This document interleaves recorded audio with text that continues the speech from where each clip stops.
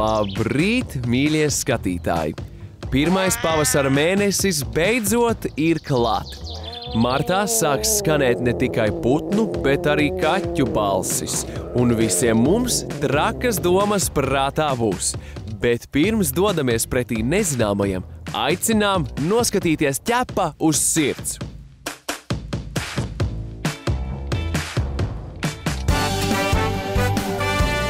Šodien raidījumā skatieties, ko darīt, lai novērstu locītavu slimības savam sunim. Cik populāra kļūst pirmā kaķu kafejnīca Rīgā? Kā aktieris Jānis Kubilis satika savu kaķi Miku? Ko šķēpmetējs Madaras palamēkas suns vislabāk dara brīvdienu rītos?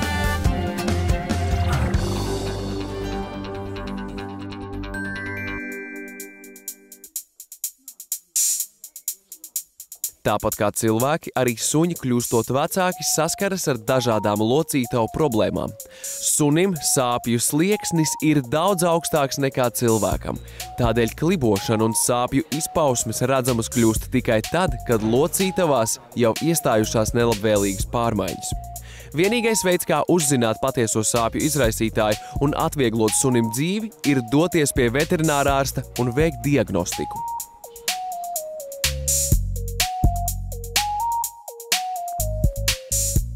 Desmit gadus vecais Teodors un viņa saimniece Kristīne klīnikā ieradušies, jo viņa pamanījusi, ka suns esot sācis klibot. Apskatīsim ķepiņu, vai nav kaut kādi iedūrumi vai kaut kas vēl. Es mēģinu skatīties kreiso karpālo locītavu.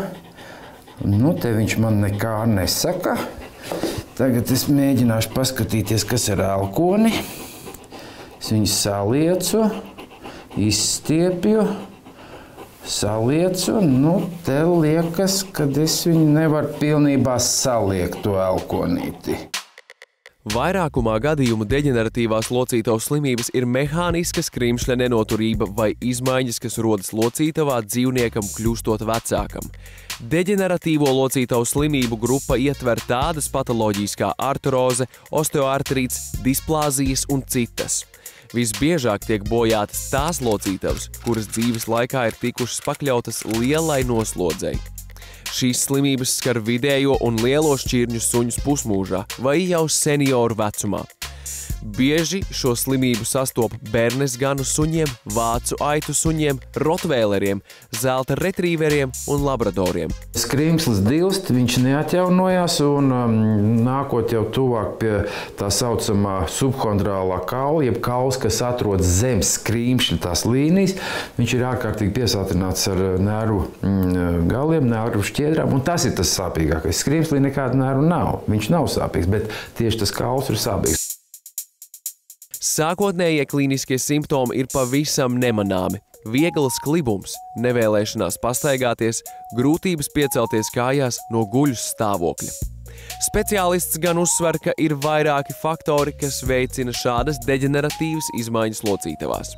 Liekais svars, kas savukārt ir mehānisks spiežu locītavām un papildus vēl viņas um, iznēsā nu, un dažkārt arī nepārdomātas, pārlieku lielas fiziskās aktivitātes. Lai noteiktu diagnozi un precīzi izvērtētu locītavas struktūru, Teodoram tiks veikts rengens, kā arī datortomogrāfija. Izmeklējumi pierāda, ka Teodoram ir kreisā elkoņa locītavas artroze. Klīniskie simptomi deģeneratīvajām locītavu slimībām ir ļoti līdzīgi. Tomēr svarīga ir konkrētās slimības diagnostika, jo ārstēšanas veidi un prognozes ļoti atšķiras. Vienīgais, ko artrozes gadījumā var darīt, ir meklēt iespēju, kā ar šo patoloģiju sadzīvot, izmantojot konservatīvu ārstēšanas metodi. Tas sastāv no trim lielām daļām, tā saucamā triāde. Pirmais - tātad samazināt ķermeņa masu dzīvniekam. Otra lieta - ierobežot fiziskās aktivitātes. Un trešā lieta - izmantot nesteroīdos pretiekaisumu līdzekļus kopā ar preparātiem, kas ir domāti nu, locītavas stāvokļu uzlabošanai. Tātad glikazamīnu saturošos preparātus izmantot nu, teiksim, tādos ārstnieciskos nolūkos. Slimību profilaksei. Tāpat kā cilvēkiem, arī suņiem ir jāievēro mērena fiziskā slodze un veselīgs uzturs. Taču saimniekiem svarīgi laikus pamanīt izmaiņas suņa uzvedībā un vērsties pie veterinārārsta, un vecums nekādā gadījumā nav vienādojams ar slimībām.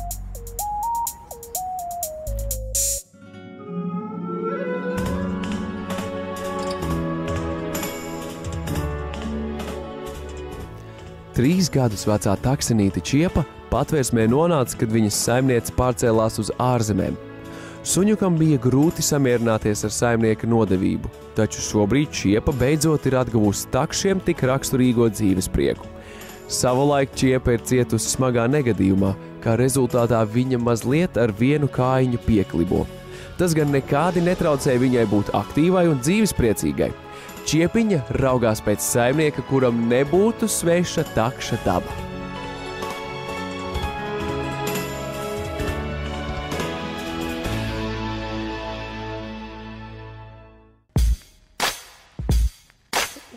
Čības, spalvu rullīši, nagu asināmie stūri un dīvāni ar apaļiem caurumiem galos. Tas viss pieder pie īpašā aprīkojuma, lai pieci kaķi justos komfortabli nu pat atvērtajā jaunajā Minku kafejnīcā.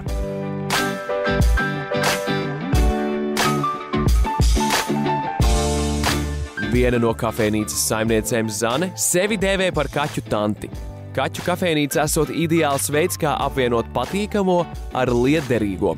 Kafejnīcas ideju smēlusies Parīzē. Kafejnīcā Minkas dzīvo pastāvīgi. Kaķis kā mājīguma simbols aicina cilvēkus uz brīdi aizmirst ikdienas stresu un steigu. Radīt to vidi tādu, kur, kur tu vari atnākt vienkārši relaksēties. Tu baudi vīnu vai tu paņem grāmatu, lasi, un paralēli tev ir šis murājošais kaķītis vai nu klēpī, vai nu fonā. Latvijā ne visi un ne visur ar gavilēm uzreiz pieņēmuši jauno ideju šaubījušies, vai kaķis un sabiedriska vieta sadar kopā. Mēs konsultējāmies arī daži pavāri un šefpavāri, kas mums nāca tālāk ar konsultācijām. Sākumā bija tā, nu, es nezinu, meitenes, es nezinu. Mārā atrodas gan kafija, gan dzērieni, gan tējas. Līdz ar to kaķis tur nedrīkst nokļūt. Un, uh, to nodrošina šīs durtiņas, kuras mēs vakarā aiztaisam ciet. Un pa dienu viņas ir brīvi apmeklētājiem pieejams vaļā. Jaunajā mājvietā kaķi no dzīvnieku piedarības ķepu ķepā nonākuši pirms trim nedēļām, lai pirms kafejnīcas atvēršanas aprastu ar jaunajiem apstākļiem. Kaķu meitenei Nīčai vairāk patīk aktīvi izklaidēties. Cipis ir draudzīgs, viņam patīk mazi bērni. Dons Žuans no pirmā brīža juties kā kafejnīcas saimnieks. Melnītim patiks, ja viņu samīļos un turēs klēpī. Besa jaunajās mājās sākumā bijusi vistramīgākā, bet tagad iejutusies ļoti labi. Kafejnīcas saimnieces ir gatavas dažādām situācijām. Ja būs tāds ar eņģītēm, nu mēs saudzīgi, protams, centīsimies viņām pateikt, ka tomēr tā nav praksa un ka to te nevajag darīt, ka dārā ir klāņojoši kaķīši, kuriem var nest šo barību. Kaut arī saimnieces ir darījušas visu, lai perfekti ievērotu dzīvnieku labturības noteikumus, dzīvnieku aizstāvji norāda uz dažiem riskiem. Ņemot vērā kaķu dabu, viņu labsajūta ir ļoti komplicēts jautājums. Nosacījums, kuru diemžēl neviens nevar prognozēt, lai šis projekts būtu ilgtermiņa. Lai tie dzīvnieki, kas nonāk šādās vietās, nu, pēc kāda laika viņiem nevajadzētu meklēt jaunas mājas atkal. Jo, diemžēl mēs patversmē redzam tādu praksi, ka pie mums atnāk dzīvnieki no frizētavām, no kafejnīcām. Mums ir ļoti daudz dzīvnieku, suņu īpaši, kas ir no apsardzes, no teritorijām. Un tajā brīdī, kad bizness vai kad ideja beidzās, tad darbinieki tiek atlaisti un dzīvnieki, tāpat kā darbinieki, ir spiesti no tās vietas aiziet. Tāpat kā abas minku kafejnīcas saimnieces, arī ķepus sirds ir optimisti. Lai nu kaķu kafejnīcai ilgs mūžs, mīņķi samīļoti un apmeklētāji priecīgi.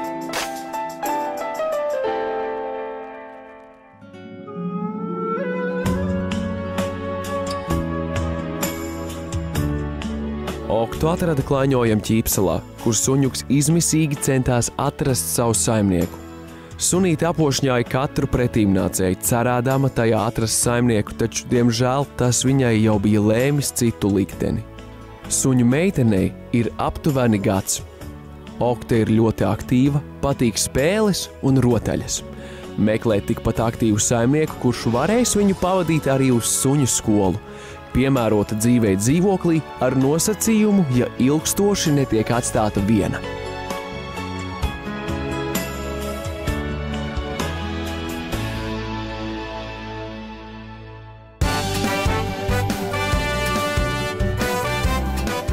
Raidījuma turpinājumā skatieties! ko šķēpmetējs Madaras palamēkas suns vislabāk dara brīvdienu rītos.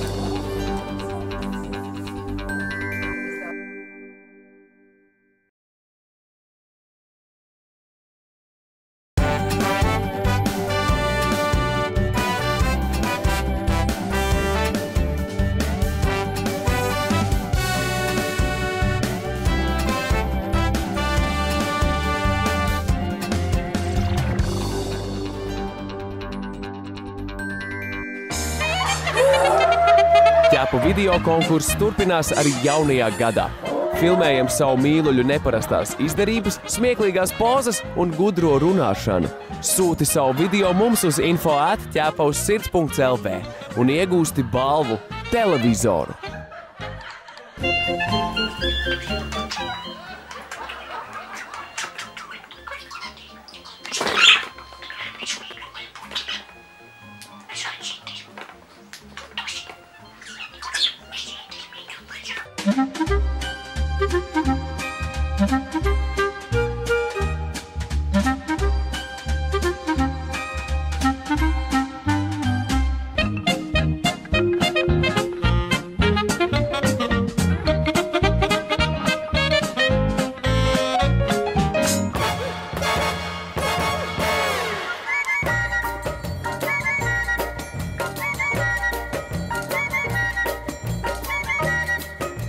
Sūti savu video mums uz info atķēpa uz sirds.lv un iegūsti balvu televizoru.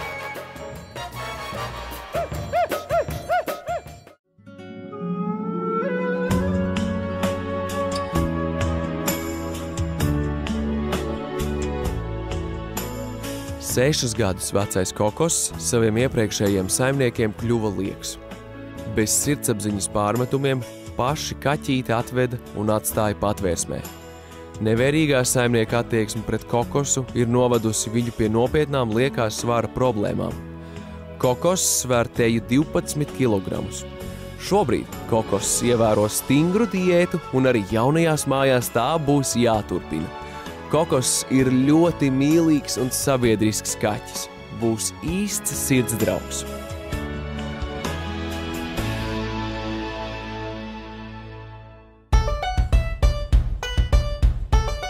Kāds aizrautīgs TV skatītājs pašā sestdienas rīta agrumā. Iepazīstieties, tas ir Jančuks. Un tepat kaut kur jābūt arī viņa saimniecei, Latvijas labākajai šķēpmetējai, Madarai Palamēkai.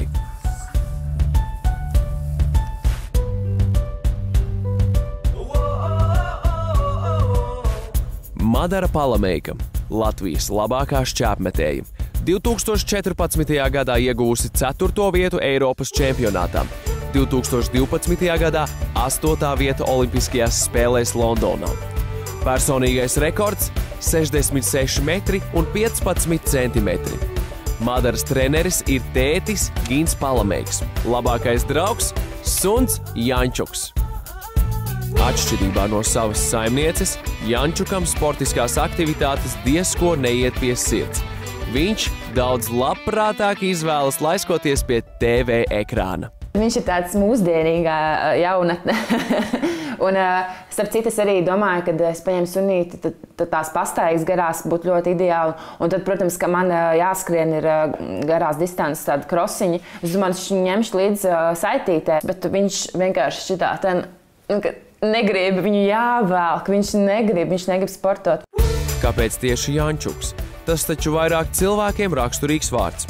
Atbilde ir pavisam vienkārša. Bērnībā Madara ļoti gribēja brālīti - Jančuku. Tā arī bija. Tā kā es esmu jaunākā māsa, jautāju pēc jā, vēl viena bērna, un, protams, es gribēju brālīti, tāpēc, ka man jau ir divas vecākas māsas. Un tas Jānis, tas tāds liekas, ka nu, Jāņi un, un latvieši tiešām viens tāds ritīgs latviešu vārds. Jančuks Madaru klātienē atbalstīs arī sacensībās. Lielākoties gan kamēr Madara ir treniņu nometnēs vai sacensībās, suņuks paliek pie sportistes mammas. Es nevaru izstāstīt, ka, kā sunītis sagaida mājās. Tad ir prieks vienkārši arī um, atgriezties. Vienmēr, kad es arī ceļojumā, es zinu, ka man gaida mājās tas mazais brīnumiņš, kas, uh, kas, kas nekad nepārmetīs, kā cik tu ilgi biji prom. Bet viņš vienkārši uh, liks kā sajusties, ah, es esmu mājās, un, un, un, un tās bučiņas, un, un tie rējieni, tie stāsti, ko, ko viņš darīja. Vai, nu, tas ir tā tiešām neaprakstām tā sajūta. Līdzvērtīgas sajūtas Madara gūst esot arēnā arēnā ar šķēpu rokā, nesot Latvijas vārdu pasaulē. Kad es pirmo reizi uz, uzstādīju Latvijas rekordu, jo es um, pirmo reizi stāvēju uz piedestāla starptautiskā mērogā, un es iegūstu zelta medaļu ar Latvijas rekordu, tad es vienkārši nevaru novaldīt asaras. Es gribēju izskatīties skaisti. Es gribēju ar, ar, ar ziediem rokā dziedāt himnē līdzi. Man vienkārši asars plūda, es nevarēju sev novaldīt. Un, un tas bija tik emocionāli, ka es saprotu, ka man bija tas tik svarīgi. Un es iedomājos, ka mēs to ar tēti kopā sasniedzām. Tas vienkārši ir ārprāts, un tad man tagad arī zosādi ir. Tas bija brīnišķīgi. Madara uzskata, ja vien ir vēlme un gribas spēks, tad var sasniegt visu iecerēto. Viņa cer, ka šodien viņai izdosies sasniegt jaunus mērķus, atrast mājas kādam nelaimē nonākušajam. Šeit redzētais Madaru nespēja atstāt vienaldzīgu. Manā kraudienas. Tas šausmīgi tāds tie, tie skatieni.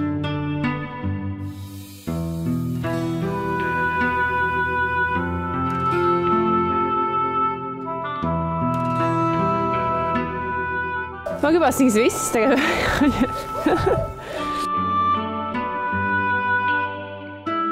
Par savu krustbērnu Madara izvēlas gadu veco Betiņu, kura patvērsmē nonāca, kad viņas saimniece aizgāja mūžībā. Suņukam tas bija liels trieciens. Sabruka viņa mazā pasaulīte, un, un tas ir tāds skumjas. Un, un, un tad viņi paliek uh, vieni paši, un, un, un tad viņi tiecas varbūt kaut kur citur sameklēt to mīlestību. Un, un, un, ja nav pie kā varbūt pieglausties vai arī rast šo, šo sajūtu atkal, tad varbūt tad, tad ir tā skumīgi.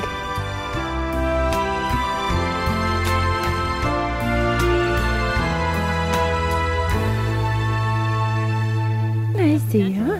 Oh, ķepiņa tu man dod. Ai, Ai ka tu mīļa, jā. Jančikam jādod karmiņš, lai iedod ķepiņu, bet iedod pati ķepiņu. Madara ir pārliecināta, ka Betiņa lieliski iejutīsies koplā ģimenē. Būs labākais draugs gan pieaugušajiem, gan bērniem. Sniegs mieru un harmoniju pēc steigā pavadītas dienas. Es tiešām arī jūtos ļoti laimīga. Es gribu smaidīt un glaudīt, jo viņi to novērtē ar, ar, ar, ar, ar savu klātbūtni un mierīgumu.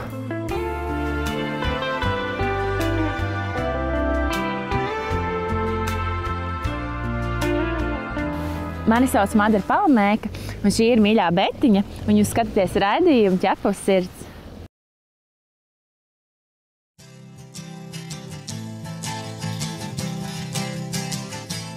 Ķepa uz sirds pirmajā pavasara sestdienā ciemojas pie aktiera Jāņa Kubiļa. Jau vairāk kā gadu viņa mājas par savējām sauc arī Runcis Mika.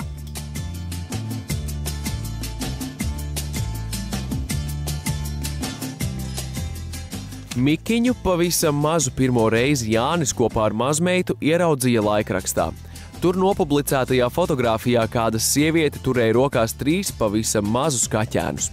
Vienā no kaķu bērniem Jānis saskatīja līdzību ar savu nesen pazudušo kaķīti Muri. Smuku kaķīti, baltu krādziņu un viss. Un es saku, vai dieviņ, cik līdzīgs murītim, nu šitas gan derētu man vakaros ko parunāt. Pēc pāris dienām Jānis piedzīvojis pamatīgu pārsteigumu. vakarā klauvē pie durvīm, attais durvis vesela delegācija. Manas abas sievietes, Zanda un, un, un, un, un Brīgita un vēl tur kas, un vienai būrīts rokā, otrai kastīte, trešam maisiņš ar smiltīm, un noliek, ieliek man tādu mazu kunkulīti klēpī tādu tā. Viņš tā, tā, tā, tā ierutināja, sāk malt dzirnaviņas, briekstu gaņģi, mandeļu gaņģi, mēs abi divi tā, te tā, un tāds maziņš kunkulīts, un te tagad tāds viņš tur ir, tas Mikiņš. Tikai vēlāk tagadējais Mikiņa saimnieks uzzinājis kaķēna dzīves stāstu. Kaķu migu atraduši celtnieki un brīdinājuši līdzās esošos iedzīvotājus. Ienāk strādnieki un viņi saka, pievāciet tos kaķus. Mums tur ir būvdozers nāks, tur ir pamati, kas tur jātais, un tur ir ālā, un tur tie kaķi iekšā. Kaut ko tur dariet ar viņiem, un tā, kā mēs viņus dabūsim. No dzīves tā prakta arī tā kā ir, bet ko mēs darīsim? Vetārsts ieteicis īpašā būrī ielikt kādu ēdamo un to atvērtu novietot pie alas. Otrā rītā būrī iesprostota bijusi kaķene ar visiem trīs kaķēniem, kuru foto Jānis ieraudzīja laikrakstā. Tagad viņš bez laimes krekliņā dzimušā Mika savu ikdienu vairs nespēja iedomāties. Ļoti, ļoti patstāvīgs ir. Kaut gan viņš pats viņš noskatās, tad, kad es tā e, lasu vai ko, vai sēžu vientuļš, viņš iekāp klēpī. Iekāp klēpī ļoti mīļi, pamaļ dzirna viņas te, un es viņu te izkasu, izmīlēju, un, un tā viņš aiziet. Agrāk aktieru simpātijas vairāk piederējušas suņiem. Aktierim pat bijis jāspēlē kopā ar suni izrādē Tā tad dzīvoju. Kubilis tēlojas profesoru, kuram pieder suns Donšs. Četrkājainais aktieris Kollijs piederējis kādam teātra tehniskajam darbiniekam. Viņš nāk pie maniem, Publikai to tik vajag, uzreiz reakcija. Pēkšņi nāk viens kolīs, un, un tas viņš paskatās, tā, kas tā par reakciju. Tā, tā, tā uz to publiku nāk pie maniem, un no, no, pie kājām es domāju, vai cik labi. Tagad es sāku runāt to monologu un, un visu laiku nervozēja, un, un viņš tur nekā uzliek to pūniņu man. Tā. Un tā publikai patīk. Tā. Viņš tur kaut ko izdara, viņa reaģē. Viņš tā paskatās, pienāk pie rampas, un rampai tā skatuves priekš. Pienāk pie rampas, paskatās to publiku, nožāvājas un nāk un atkal pie kājām. Kopš tā laika Kubiļa sirds pieder kolijam un arī pašam bijis kolijs vārdā Donšs. Tādu uzticību, kāda ir sunim, kāda bija man no Donža, tāpēc jau es suņus vairs nejūtu, tā šķiršanās bija ļoti smaga. Cilvēks, ka paliek vientuļš, tad viņš zina, ko nozīmē dzīvnieks. Tad viņi zina, ko nozīmē dzīvnieks un, ka tāds dzīves radījums ir blakus.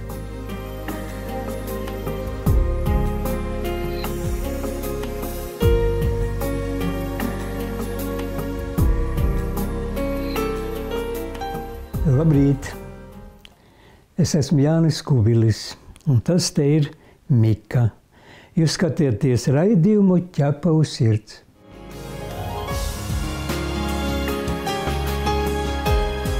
Katram dzīvniekam lemts viņa īstais saimnieks. Tikai neviens nezina, kad liktenis ļaus tiem satikties.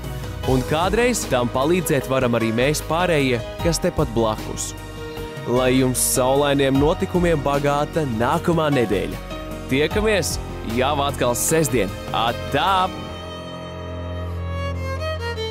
Nākamajā raidījumā skatieties!